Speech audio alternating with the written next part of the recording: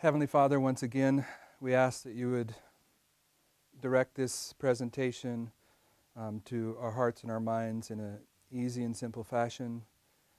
Uh, we do not want to be deceived. That's one of the things that we, you've warned us about at the end of the world. We ask that you would make our discernment um, strong.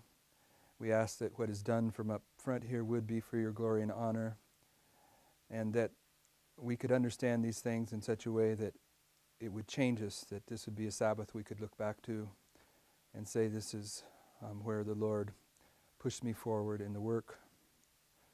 And we want to be part of that work, so once again, we ask that you do whatever it takes in our individual lives to make it happen. And we thank you for this time in Jesus' name. Amen.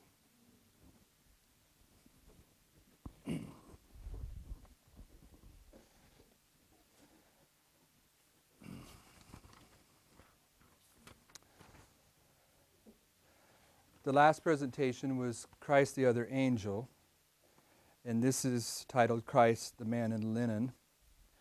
And this is to show that Daniel 12 is another prophetic line of this history of 1840 to 1844. I ha- personally haven't come across a statement from Sister White that, that teaches specifically what this particular prophetic history in Daniel 12, what its theme is. If what, what she says the theme of the parable of the ten virgins is, is it's illustrating the experience of God's people. The theme of, of the seven thunders is demonstrating the part that Christ plays in this history. And the theme of these angels, the three angels' message followed by the fourth angel's message, is emphasizing the work that takes place in this history. The work is accomplished by the people of God, but it's symbolized by angels in Bible prophecy. For me, the theme of Daniel 12 is emphasizing the role of the books of Daniel and Revelation, the, the prophetic sources of, of understanding, because in Daniel 12 there is an increase of knowledge. This understanding comes from the books of Daniel and Revelation, and it's what prepared the Millerites to accomplish their work, and it, what, it is what prepares the 144,000 to accomplish their work. So, although I don't have a statement where Sister White makes that claim, that's how I understand it. Could be wrong, but it's not redundant. We'll, we'll go through it. Here's um, Daniel 12, bottom of page 52. We'll, we'll read some of the verses from Daniel 12 here starting verse 3 And they that be wise shall shine as the brightness of the firmament, and they that turn many to righteousness as stars forever and ever. Um, the wise in the Millerite time period are also called the wise virgins in the parable of the ten virgins. In Daniel 12, they're simply called the wise. And in Daniel 12, the foolish virgins of the parable of the ten virgins, in Daniel 12, they're not called foolish. What are they called? Wicked. You will see that as we go on. The division between uh, the wise and the foolish in Daniel 12 is the wise and the wicked.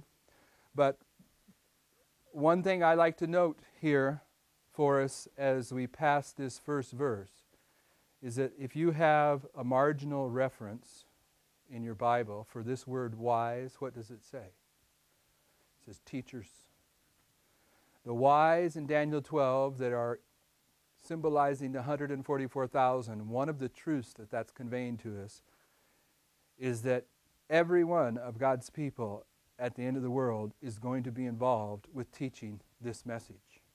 You're not going to be among the wise if you're not participating in the work of sharing this message. And, and you'll find it's when you begin to share the message that you begin to grow. You begin to be cleansed and purified, which is part of the story of Daniel 12. But anyway, and they that be wise shall shine as the brightness of the firmament, and they that turn many to righteousness as stars forever and ever. But thou, O Daniel, shut up the words and seal the book, even to the time of the end. Many shall run to and fro, and knowledge shall be increased. Then I looked, and behold, there stood other two, the one on this side of the bank of the river, and the other on that side of the bank of the river. And one said to the man clothed in linen, which was upon the waters of the river, How long shall it be to the end of these wonders? And I heard the man clothed in linen, which was upon the waters of the river, when he held up his right hand and his left hand unto heaven, and sware by him that liveth for ever and ever, that it shall be for a time, a times, and a half. And when he shall have accomplished to scatter the power of the holy people, all these things shall be finished. And I heard, but I understood not. Then I said, O my Lord, what shall be the end of these things? And he said, Go thy way, Daniel, for the words are, clo- are closed up and sealed to the time of the end. Many shall be purified and made white and tried, but the wicked shall do wickedly, and none of the wicked shall understand, but the wise shall understand. And from the time that the daily sacrifice shall be taken away, and the abomination that maketh desolate set up, there shall be a thousand two hundred and ninety days. Blessed is he that waiteth and cometh to the thousand three hundred and five and thirty days. But go thy way till the end be, for thou shalt rest, and shall stand in thy lot at the end of the days. Daniel 12, 4 through 13. Now there's there's uh, much to be said about that, but let's let's remind ourselves something here. The last vision of Daniel is Daniel 10, 11, and 12. Daniel chapter 10, chapter 11, and chapter 12 are the same vision. The translators of the King James Bible, the translators of the Bible, when they translated the book of Daniel, they broke Daniel's vision up into three chapters. So Daniel 12 is, is began, excuse me, in Daniel 10. And we just read, one of the things that we're emphasizing in what we just read is this man clothed in linen. In, or, in order to identify who this man clothed in linen is, I want to go back into the very beginning of the vision in chapter 10. So you'll see verses um, 4 through 11 of chapter 10. This is the same vision. And in the four and twentieth day of the first month, as I was by the side of the great river, which is the Hiddekel, then I lifted up mine eyes and looked, and behold, a certain man clothed in linen, whose loins were girded with fine gold of Uphaz. His body was as like the beryl and his face is the appearance of lightning, and his eyes as lamps of fire, and his arms and feet like in color to polished brass, and the voice of his words like the voice of a multitude. Who is this? This is Christ. Christ is the man clothed in linen. Christ is the other angel. Christ is the mighty angel. Um, continuing on. And I, Daniel, alone saw the vision, for the men that were with me saw not the vision.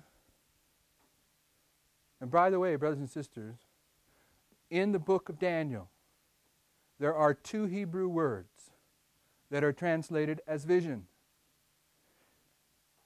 It is important that God's people understand the distinction between those two words.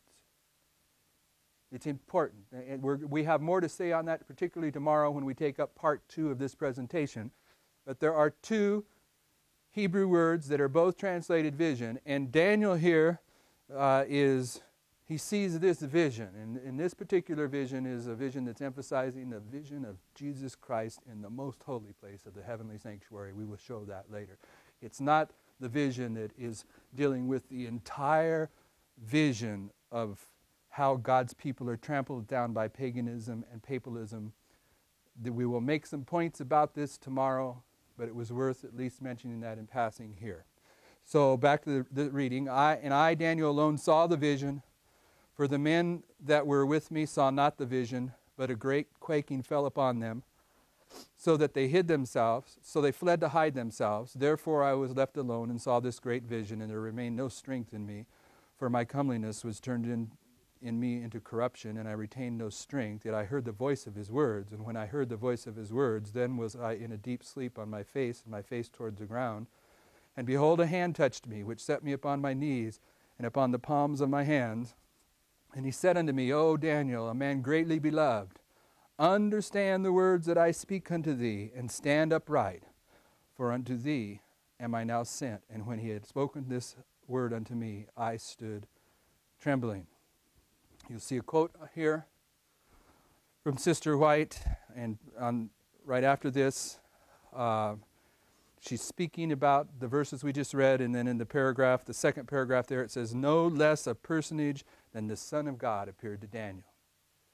That's the same word she used for the mighty angel of Revelation 10. She said, No less a personage than Jesus Christ was the mighty angel of Revelation 10, and Jesus Christ is also the man clothed in linen in Daniel 12. And you'll notice that in Revelation 10, Jesus Christ, in verses uh, 5 and 6, what did he do?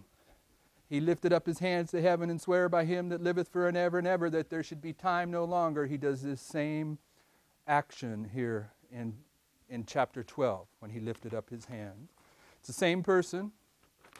So, no less than a personage and the Son of God appeared to Daniel. This description is similar to that given by John when Christ was revealed, revealed to him upon the Isle of Patmos.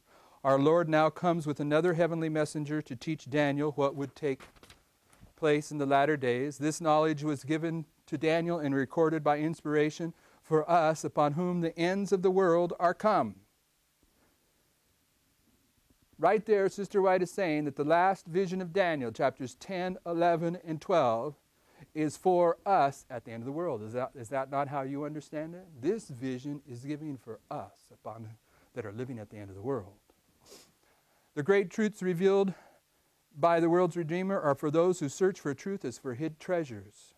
Daniel was an aged man. His life had been passed amid the fascinations of a heathen court, his mind cumbered with the affairs of a great empire, yet he turns aside from all these to afflict his soul before God and seek a knowledge of the purposes of the Most High. And in response to his supplications, light from the heavenly courts was commissioned for those who should live in the latter days.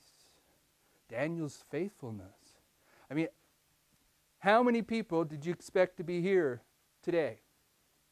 If you could talk to all of them, they all will have legitimate reasons for not being here. Daniel was running the empire. But he took time to seek the Lord. And because of his faithfulness, he was given light that is for you and I here in the last days. But you and I here in the last days, we can't get our priorities to where we can come and consider these things that were recorded for us because of Daniel's faithfulness. What with what earnestness then should we seek God that he may open our understanding to comprehend the truths brought to us from heaven? And I, Daniel, alone saw the vision. For the men that were with me saw not the vision, but a great quaking fell upon them, so that they fled to hide themselves. And there remained no strength in me, for my comeliness was turned into in me into corruption, and I retained no strength. Now notice this, brothers and sisters. Such will be the experience of everyone who is truly sanctified. Here in Daniel 10, when Daniel has a confrontation to where he sees Jesus Christ and he collapsed in the ground because he realized he's so corrupted and so worthless and he falls at his feet. Sister White says, Such will be the experience of everyone who is truly sanctified.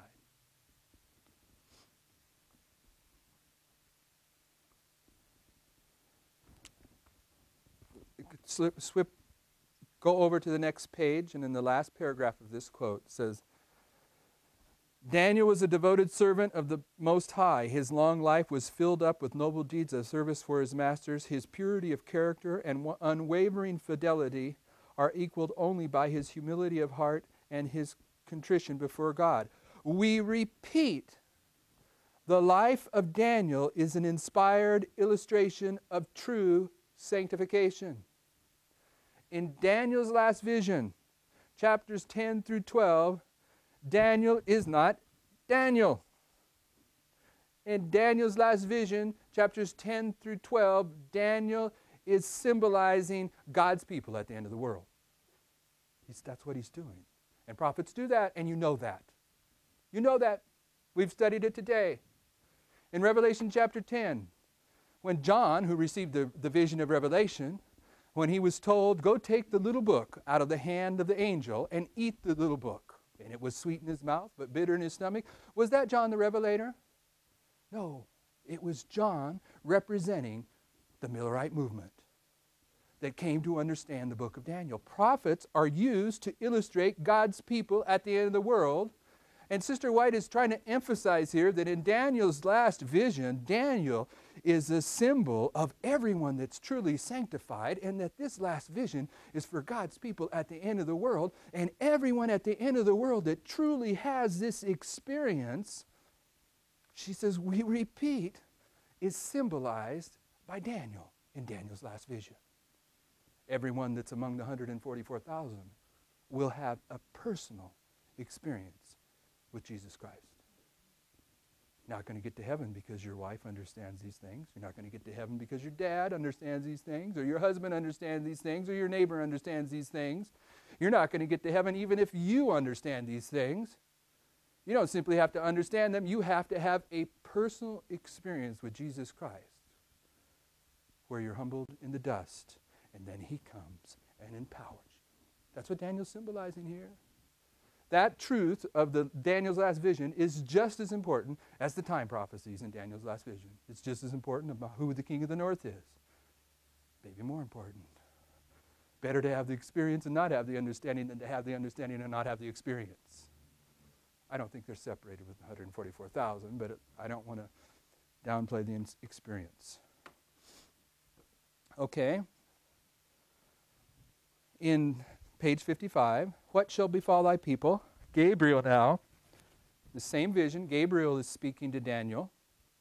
And he comes to him in verse 14. He says, Now I'm come to make thee understand what shall befall thy people in the latter days, in the latter days, for yet the vision is for many days. Brothers and sisters, Daniel's last vision is an illustration of what happens to God's people at the end of the world. That's what it says in verse 14. You don't need Ellen White to tell you that, and you don't need to determine it on your own. Verse 14 says, This vision is telling you what happens to God's people at the end of the world. Do you see that? That's what this vision is all about. So, who is this angel? I'm going to switch gears here just a minute. In Revelation 7, there's an angel that comes from the east. Who do we call that angel?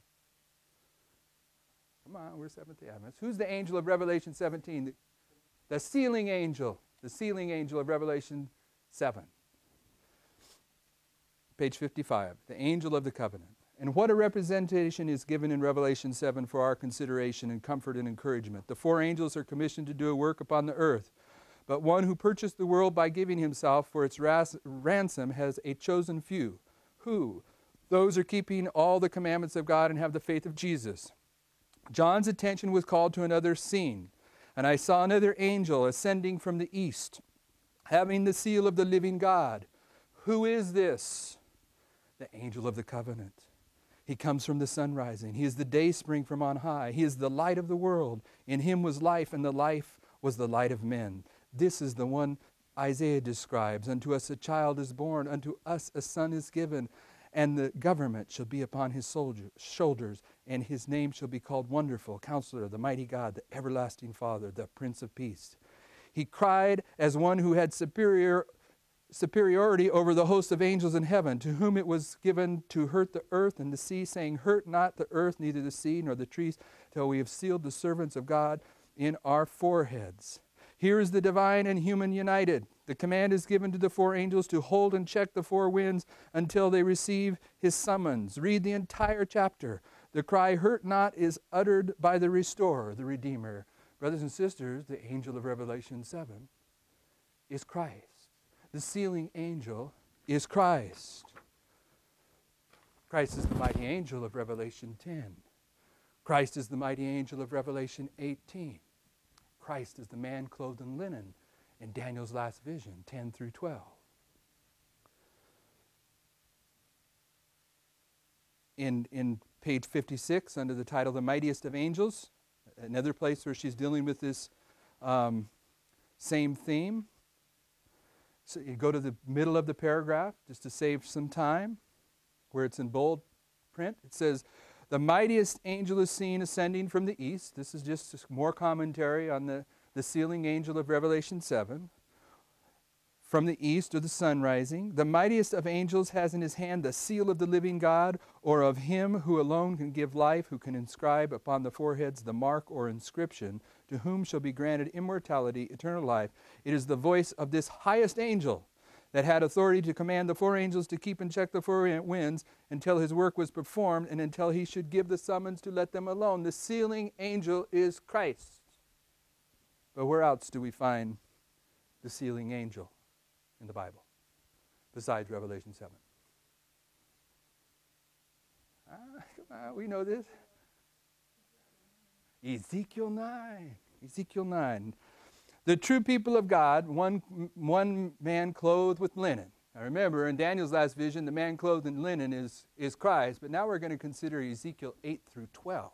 There's a man clothed in linen in that passage.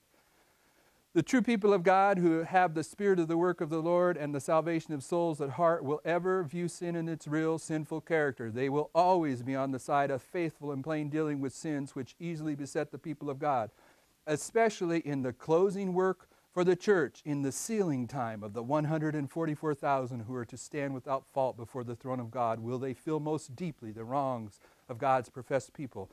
This is forcibly set forth by the prophet's illustration of the last work under the figure of each man having his slaughter weapon in his hand. One man among them was clothed with linen, with the writer's inkhorn by his side. And the Lord said unto him, Go through the midst of the city, through the midst of Jerusalem, and set a mark upon the foreheads of the men that sigh and cry for the abominations that be done in the midst thereof. Brothers and sisters, the man clothed in linen, the sealing angel, because Sister White says the sealing in Ezekiel is the same as the sealing in Revelation 7.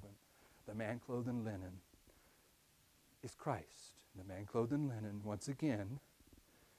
In the history that's illustrated in Daniel's last vision, Daniel 12, it's the same angel, it's the same mighty angel that's in the history of the Millerite time period, whether you're considering the parable of the ten virgins or the fourth angel's message or the seven thunders. It's all accomplished by Christ.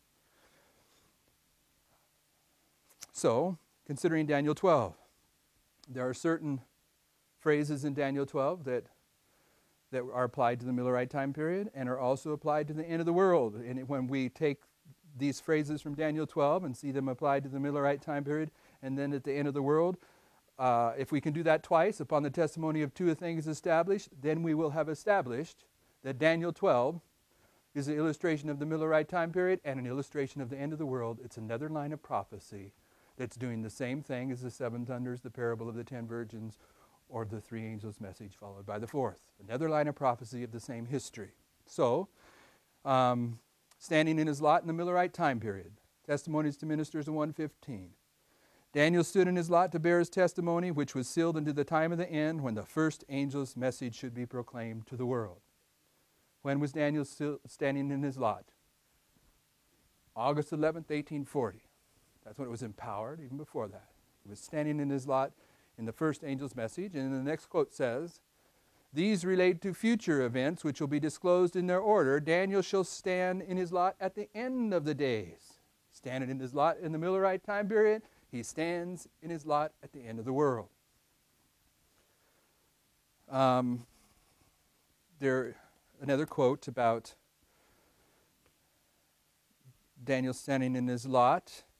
Let's start in the second paragraph of this quote. It says, As we near, this is on the pa- bottom of page 57 in your notes, as we near the close of this world's history, the prophecies recorded by Daniel demand our special attention as they relate to the very time in which we are living.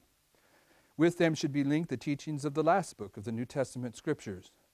Satan has led many to believe that the prophetic portions of the writing of Daniel and of John the Revelator cannot be understood, but the promise is plain that special blessings will accompany the study of these prophecies the wise shall understand, was spoken of the visions of Daniel that were to be unsealed in the latter days, and of the revelation. Now, brothers and sisters, when did Sister White write this? I don't know. I don't need the year, but did she re- write this before the Millerite time period or after the Millerite time period?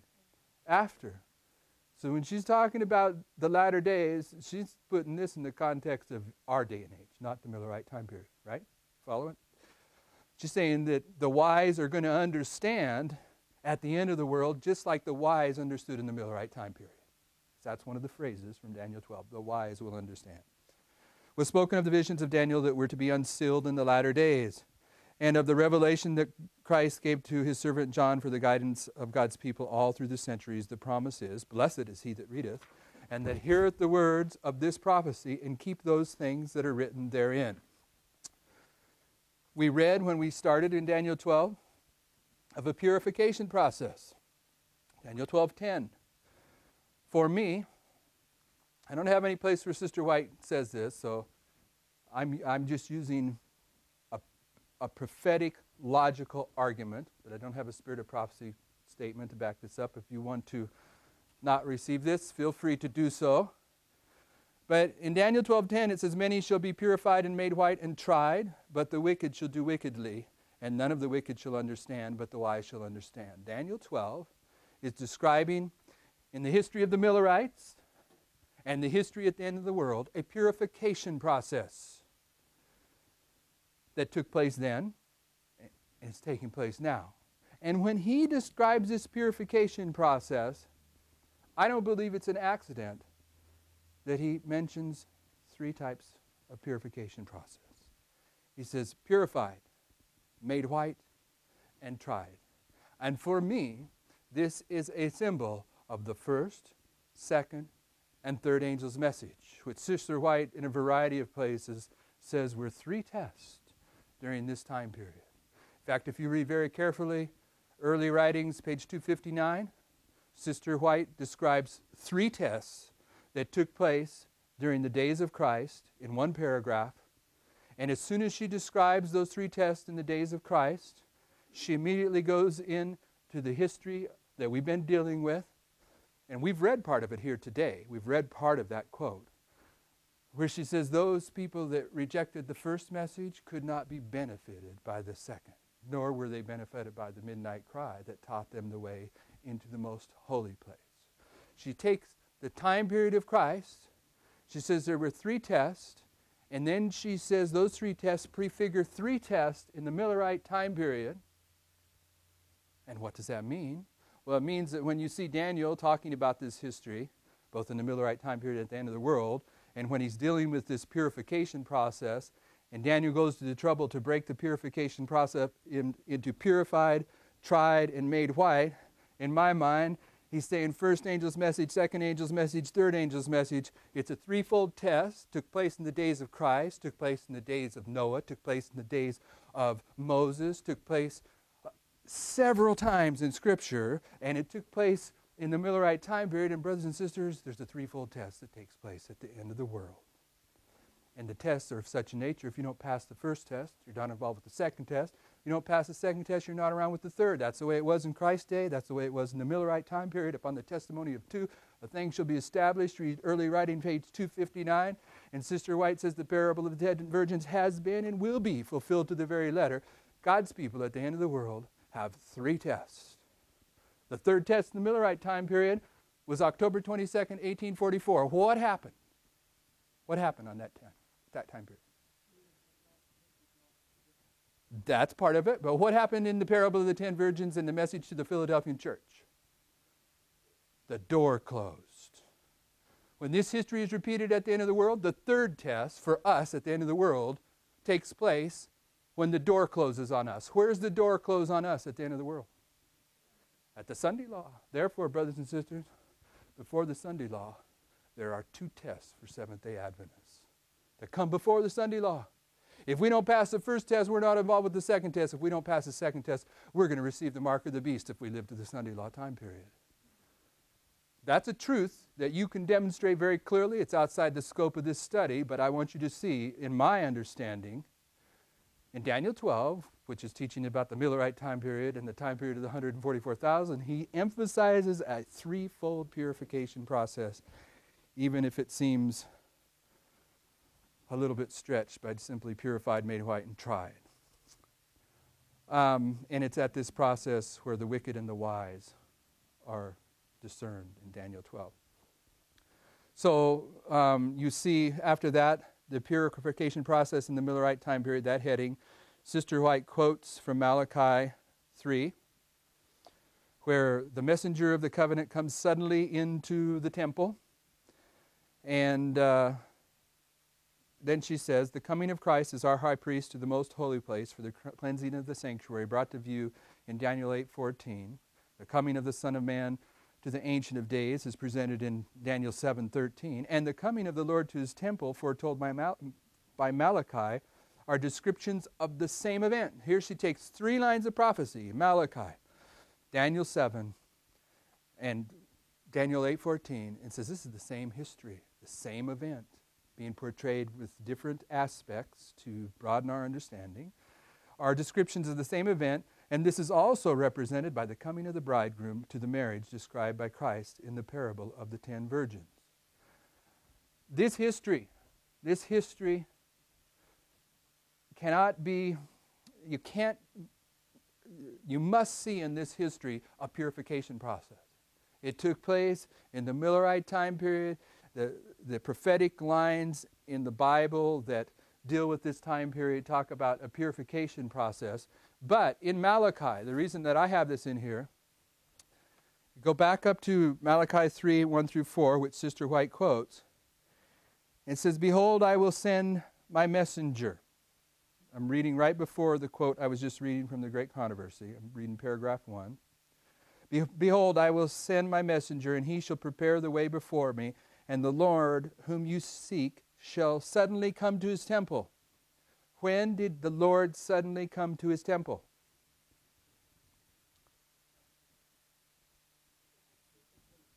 October 22nd, 1844. We just read it. Sister White says this is the same event. So the Lord came to his temple on October 22nd, 1844, and Malachi is describing that event. Sister White just said so, but let's read on what Malachi says. The Lord whom you whom you seek shall suddenly come to his temple, even the messenger of the covenant whom you delight in. Behold, he shall come, said the Lord of hosts. But who may abide the day of his coming? And who shall stand when he appeareth? For he is like a refiner's fire, and like a fuller's soap and he shall set as a refiner and a purifier of, his, of silver, and he shall purify the sons of Levi and purge them as gold and silver, that they may offer unto the Lord an offering of righteousness. Then shall the offering of Judah and Jerusalem be pleasant unto the Lord, as in the days of old, as in the former years. Brothers and sisters, go back and read that a couple of times. Uh, what I hope you see is that the Lord in Malachi comes to his temple and then begins a purification process.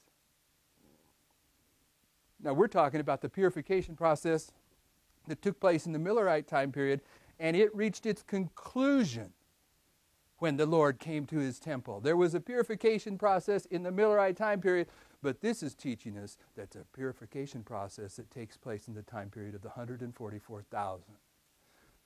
What we're trying to emphasize here is that the, the themes of truth that are in Daniel 12 are both identified as taking place in the Millerite time period and they take place at the end of the world. Right now, the Lord is purifying the sons and daughters of Levi, that he might have a church that's without spot or wrinkle. So that, purification process is repeated. Um, in, in that passage, there's a question. It says, But who may abide the day of his coming? Did you see that right in the middle in Malachi? But who may abide the day of his coming? You know, there's another place where that question is asked, all similar. It's in verse 17 of Revelation 6. Now, if you start in verse 13, verse 12 is the opening of the sixth seal, and verse 13 of Revelation 6 says, This is under the sixth seal. How many seals are there in Revelation in this passage? There's seven. The sixth seal is opened in verse 12. There's a great earthquake when it's opened in verse 12. What was that earthquake? The Lisbon, Portugal earthquake. Okay? Um, and then in verse 13 it says, And the stars fell from heaven unto earth. When did the stars fall from heaven? 1833. William Miller receives credentials. The message is underway in history. And uh, verse 13 says, Even as the fig tree casteth her untimely figs when she is shaken of a mighty wind, and the heavens departed as a scroll when it is rolled together, and every mountain and island were moved out of their places. When does that take place? When does the heaven get rolled back as a scroll? The second coming of Christ. So, verse 13 takes us right to the beginning of the Millerite time period. And in verse 13, it jumps, in the sixth seal, it jumps all the way down to the end of the world. And why does it do that? Because it wants to ask a question. Verse 14 talks about the, the, the kings of the earth, the, the, the captains that are going to be punished during the second coming of Christ. In verse 16 says of these people, and said to the mountains and the rocks, Fall on us and hide us from the face of him that sitteth on the throne and from the wrath of the Lamb. When's the wrath of the Lamb? Seven last plagues. So the sixth seal takes us to the Millerite time period, 1833 to the falling of the stars, and then it emphasizes the time period when human probation is closed. And then what does verse 17 say about this time period? For the great day of his wrath is come, and who shall be able to stand? And then chapter 7 tells who's able to stand. And chapter 7 is where the sealing angel Christ puts together the 144,000 so when Malachi talks about the angel of the covenant suddenly coming to his temple in October 22nd, 1844, and then he talks about a purification process that continues after that. He's emphasizing the purification process of the 144,000, for he asked the very same question that's asked here in the end of chapter 6 of Revelation Who's able to stand during this time period? And the answer is the 144,000. The 144,000 go through the same purification process that the Millerites went through to the very letter. But things will be different. Things will be different. Uh, but it's the same. We're, in prophetic sense, it will be the same. Um, purification process in the time period of the 144,000. The remnant people of God who keep his commandments will understand the words spoken by Daniel. Many shall be purified and made white and tried. The 144,000 are going to go through this same process that's illustrated in Daniel 12. She's quoting from Daniel 12 here. The next quote, a double cleansing, we've already read, referred to a couple times in our studies. Jesus cleansed the temple twice when he was here on earth, the beginning and end of his ministry and he cleanses his church at the beginning, his church at the end of the world, at the beginning of their existence in the Millerite time period, and he cleanses his church at the end with the 144,000. The cleansing process began here in the Millerite time period. One test, first angel's message. Next test, second angel's message. Third and final test, the people that, that were victorious at this test, they entered into the most holy place by faith with Christ. 50 of the wise virgins. 49,950 foolish virgins lost their way. That was the purification process during that time period. This purification process is going to parallel identical, identical. Takes place at the end with 144,000. There's once again going to be a message that the 144,000 are proclaiming. What was William Miller's message? Unto 2,300 days, then shall the sanctuary be cleansed. What are, what's our message? The third angel's message, a warning against keeping Sunday as opposed to keeping Sabbath. Comes the time period when this is empowered. Brothers and sisters, Daniel 11, verse 40, identifying the collapse of the Soviet Union in 1989. This is a test question for God's people at the end of the world. If you don't see that, if you flunk that test, you're not going to see the tests that follow. Last six verses of Daniel 11. People, people do not like it to be articulated this way, but the last six verses of Daniel 11 are salvational. You can show it from a lot of different points of view. Another quote after that from Bible Training School, um, talk, comparing this purification process of Daniel 12 at the end of time. Um, Daniel unsealed in Revelation. Daniel stood in his lot to bear his test. This is bottom of page 59. Daniel stood in his lot to bear his testimony, which was sealed until the time of the end when the first angel's message should be proclaimed in, his, in our world. Daniel stood in his lot right here. These matters are of infinite importance in these last days. But while many shall be purified and made white and trite, the wicked shall do wickedly, and none of the wicked shall understand how true this is. Sin is the transgression of the law of God, and those who will not accept the light in regard to the law of God will not understand the proclamation of the first, second, and third angel's message. The book of Daniel is unsealed in the revelation of John and carries us forward to the last scenes of earth's history. Will our brethren bear in mind that we are living amid the perils of the last days? Read Revelation, in connection with Daniel, teach these things. That's what we've been teaching here today. Could have been taught better, I'm certain. But this is what we're supposed to be considering, brothers and sisters. The first, second, and third angel's message, in a way, that unseals this history that was sealed up in the seven thunders. Because in Daniel 12, there's an unsealing for God's people. Sealed book in the Millerite time period. We've read that more than once. Book of Daniel unsealed.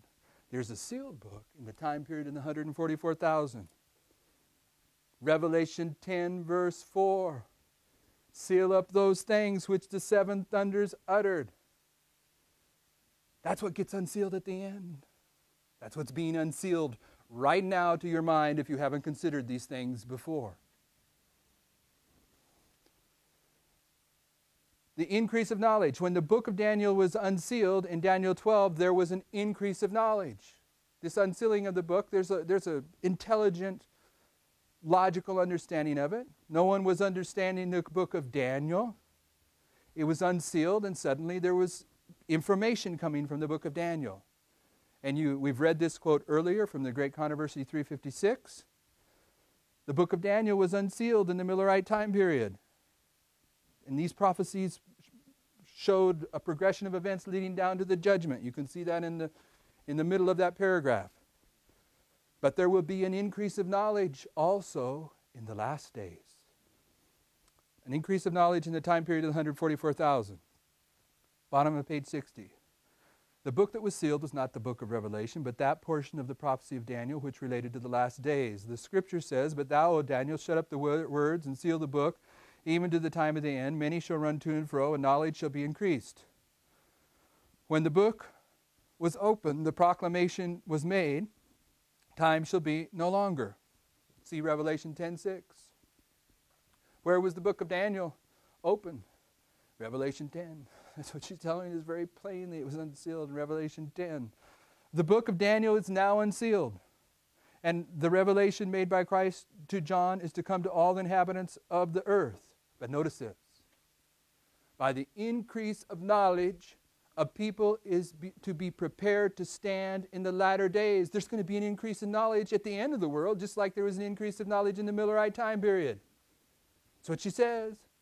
She's quoting from Daniel here. She's quoting from Daniel 12, and then she says, By the increase of knowledge, a people will be prepared to stand in the last days. So there's an increase of knowledge once again in connection with Daniel 12 at the, in the end of the world. And then she says, In the first angel's message, men are called upon to worship God, our Creator, who made the world and all things that are therein. What did she just refer to?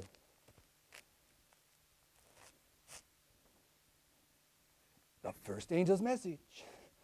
When was the first when did the first angel's message come into history? Okay, so she's she's talking about the increase of knowledge and she's connecting it with the first angel's message because Daniel stood in his lot at the first angel's message. Daniel standing in its lot has its proper place in the first, second, and third angel's message. We've read the quotes to say that today. Daniel stands in his lot in the first angel's message. It's in the first angel's message where you find the increase of knowledge and fulfillment of Daniel 12. And now she's talking about the increase of knowledge at the end of the world. And she refers us right to the first angel's message. And she says, the fir- In the first angel's message, men are called upon to worship God, our Creator, who made the world and all things that are therein. They have paid homage to an institution of the papacy making of no effect the law of Jehovah, but there is to be an increase of knowledge on this subject. The increase of knowledge that prepares God's people to stand in the latter days and parallels the increase of knowledge of the first angel's message has to do with the papacy and the Sunday law. That's what she said. The increase of knowledge from the book of Daniel for the Millerites was the understanding of the time prophecies in the books of Daniel and Revelation. This is their message. See all the numbers?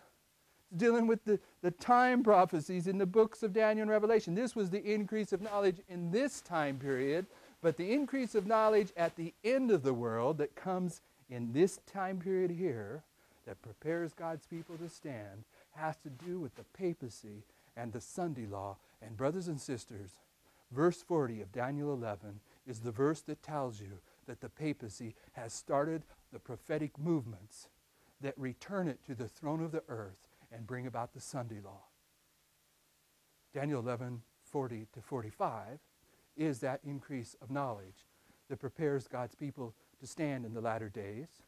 It's the increase of knowledge that the 144,000 receive as they are fulfilling Daniel 12 and the parable of the ten virgins and the seven thunders and the fourth angel's message. Line upon line, here a little, there a little.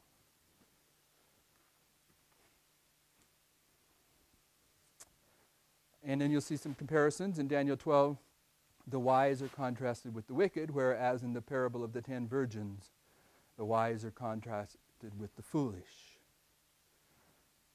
In Proverbs 10:14 says, "Wise men lay up knowledge." There's going to be an increase of knowledge, but the mouth of the foolish is near destruction. Hosea 4:6, the very next book in the Bible after Daniel says, "My people are destroyed for lack of knowledge." God's people that are destroyed at the end of the world are destroyed because they lack knowledge. What knowledge? The knowledge that prepares them to stand in the latter days. What is that knowledge? It has to do with the papacy and the Sunday law. And that knowledge parallels the first angel's message when Daniel stood in his lot. There's a message from the book of Daniel dealing with the papacy and the Sunday law that there will be an increase of knowledge that prepares God's people to stand in the latter days. Brothers and sisters, it's the last six verses of Daniel 11. Those verses are important. But when you understand that those verses are paralleling the history of the Millerite movement, and that the history of the Millerite movement was purposely sealed up by God Himself to be unsealed in this time period, and suddenly you see the last six verses of Daniel 11 are not simply an important passage of prophecy, but they're doing the identical work that was accomplished for the Millerite movement, then you can allow the Holy Spirit to convict you that probation is about to close. Why? Because it's being unsealed. And when is the time that the knowledge gets unsealed? In verse 10 of Revelation 22 Seal not the prophecies of the saying of this book, for the time is at hand. And what does the next verse say? Probation closes. He that is unjust, let him be unjust still. The fact that you're hearing these things, you may not believe them yet. You haven't had time to test them. But if you test them and see that they're sound, the fact that you're hearing them is demonstrating that Christ is unsealing this truth, and Christ unseals his truth just before probation closes.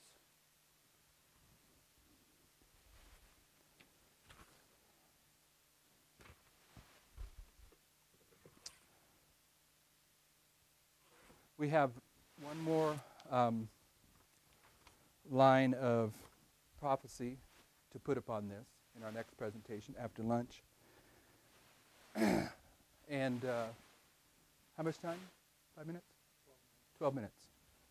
And let me recap it because this is going to be, the next presentation is going to be a little bit different. It's going to be directly connected to this line of prophecy, but it will be, it approach it from a different direction. Here's what we've said so far. First presentation last night, one of the things that we stated was the Bible teaches that upon the testimony of how many is a thing established? Two. If you see something twice in God's Word, it is an established truth.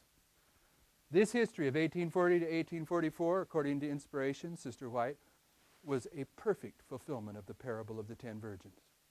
But she also said this history would repeat, be repeated again in terms of the parable of the ten virgins, would repeat it again to the very letter. That's one line of truth. The seven thunders. Is this history all over again? And Sister White says the seven thunders represent the same history, but they represent events that transpire at the end of the world. That's two witnesses there that the history of the Millerite movement is repeated to the very letter. And in Revelation 10 itself, in verse 11, when John says, You must prophesy again, correctly understood, there's a third testimony in Revelation 10 all by itself. This whole experience is of verse 1 through 10 is repeated. John, you must go through this experience again. The fourth angel's message, correctly understood and applied as Sister White told us we should apply it. The fourth angel's, the third angel's message, fourth angel's message must run parallel with the first and second angel's message. When you look correctly at the fourth angel's message, you see that it's not a repeat of history, it's just an illustration of the final fulfillment of the parable of the ten virgins and the final fulfillment of the seven thunders. That's a fourth line of prophecy. In Daniel 12, the characteristics of Daniel 12 is that there's a wise and wicked group that are going to be alive when knowledge from the book of Daniel is unsealed. There's going to be an increase of this knowledge, and this increase of knowledge is going to lead those people through a purification process. That happened in the Millerite time period. It happens at the end of the world. Upon the testimony of two, the thing is established. That's five. And along the way, along the way, Sister White has pointed to other lines of prophecy that, that agree with this. Malachi. Uh, there, there are, this is just some of the lines of prophecy that deal with this history. And what was the quote that we looked at where Sister White says, The Lord does not repeat things that are of no minor consequence, no great consequence?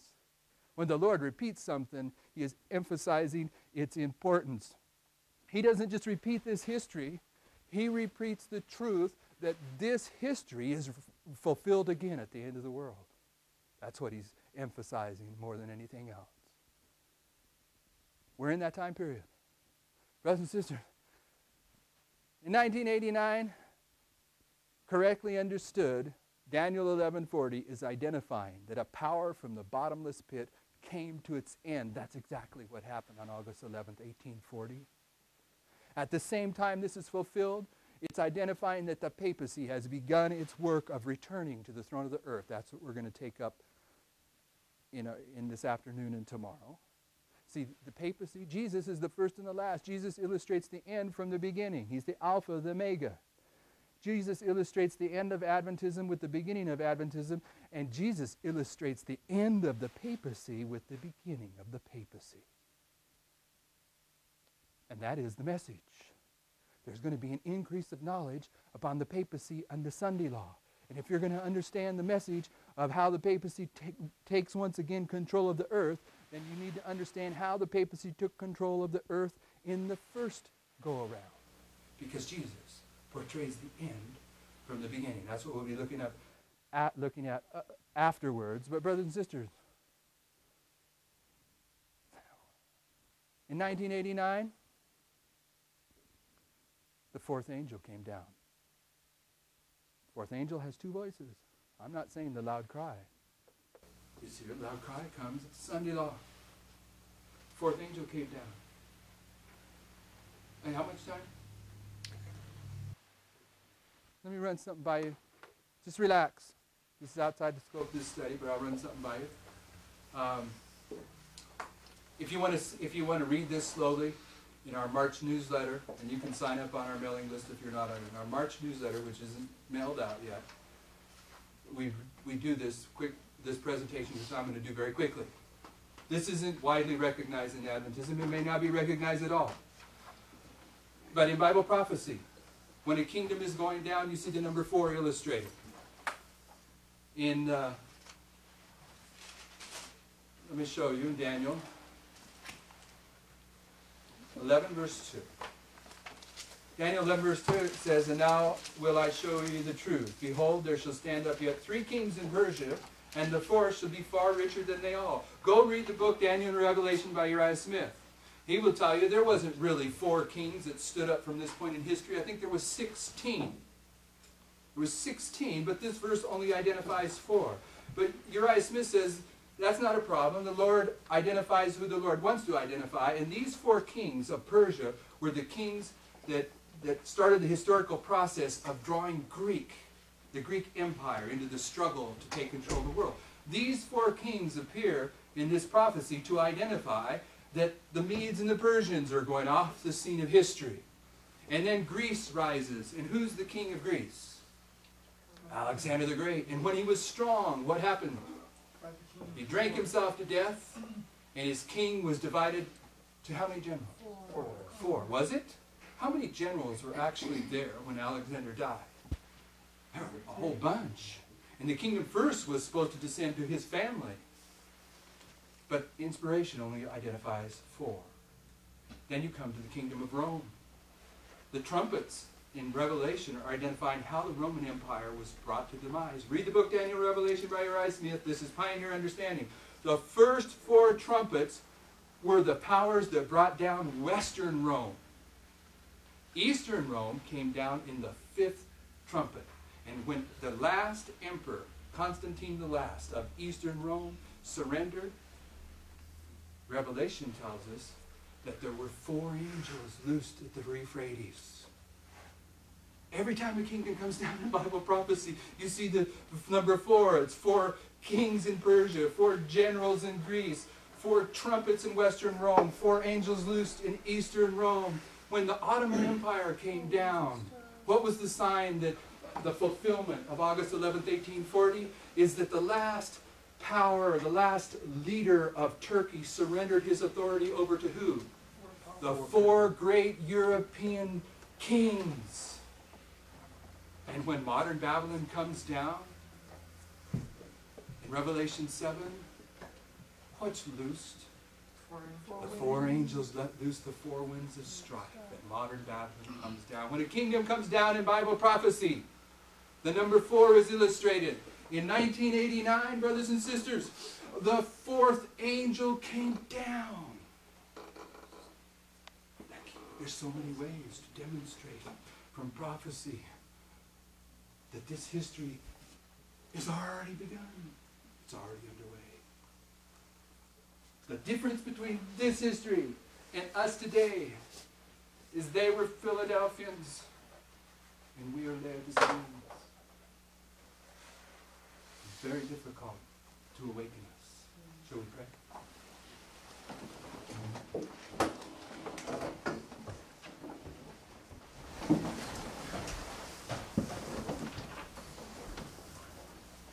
Heavenly Father, we thank you for a morning of study. And uh, I'm aware that we've, we've put a lot of information out. And I want to thank you for, for the information and ask that your Holy Spirit would convict us each to test these things, reject if, reject if it's not true, and accept if it is true. And uh, even though we may be overloaded here, we ask that you would strengthen us in this little break we're going to take here, that we can continue on with the other studies today. Uh, Lord, we believe that, I believe, many believe, that the Millerite time period is fulfilled to the very letter, and we know that in that time period that the people that were ultimately going to be among the wise came under conviction that they needed to understand the secrets of your word. They began to search for them as hidden treasures, and they would spend days and evenings searching your word. We ask that this experience would be repeated with us here at this time period, that we begin to do the work of coming to understanding this increase of knowledge, that it might prepare us to stand in these latter days. We ask in Jesus' name. 何?